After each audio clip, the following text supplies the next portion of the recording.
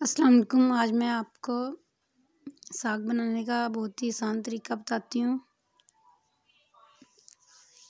जो कि बहुत ही आसान तरीका है। इसके लिए मैंने लिया है साग तो उसको मैंने फिर काटा है। इस तरह बारीक काट लेना है आपने तो बेशक बारीक से थोड़ा मोटा भी हो जाए, इसमें कुछ नहीं होता।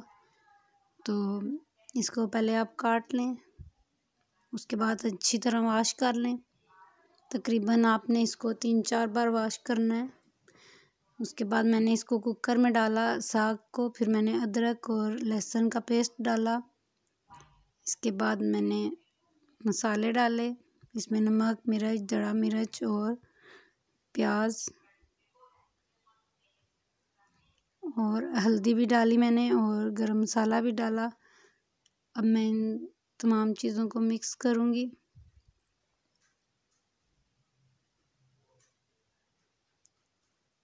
तो मिक्स करने के बाद मैंने कुकर को बंद कर दिया कुकर के बगैर भी पक सकता है, लेकिन मैं इसको ऐसे कुकर में पका रही हूँ ताकि जल्दी बन जाए।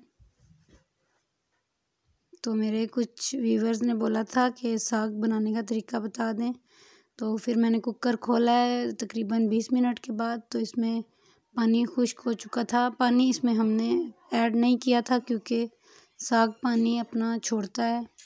तो उसी में ये गल जाता है। तो इसमें गल चुका है ये। इसके बाद मैंने कुकर खोल के तो थोड़ी देर मैंने इसको, इसकी बुनाई की है। इसके बाद मैंने इसको चॉपर में डाला है। तो इसको ग्राइंड करना है मैंने। टमाटर मैंने इस, इसमें डाले थे बाद में कुकर खोलने के बाद। तो इसमें मैंने टमाटर और ऑयल डाला था कुकर खोलने के बाद। इसके बाद फिर मैंने बुनाई की थी। उसके बाद फिर मैंने इसको चॉपर में डाल के इसको थोड़ी देर चॉप किया। है अगर आप चॉपर में नहीं करती तो इसी तरह भी उसमें कूट सकती हैं। तो इसके बाद हमने इसको वापस कुकर में डाला है।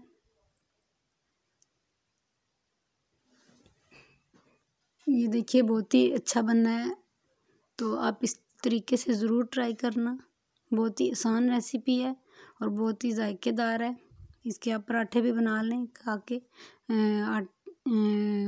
नाश्ते के टाइम तो ये, इसको मैंने फिर बुनाई की है। दो से तीन मिनट तक भुनना है इसको। तो आप इसमें ऑयल ऐड कर सकते हैं या फिर देसी घी भी ऐड कर सकते हैं दोनों में से।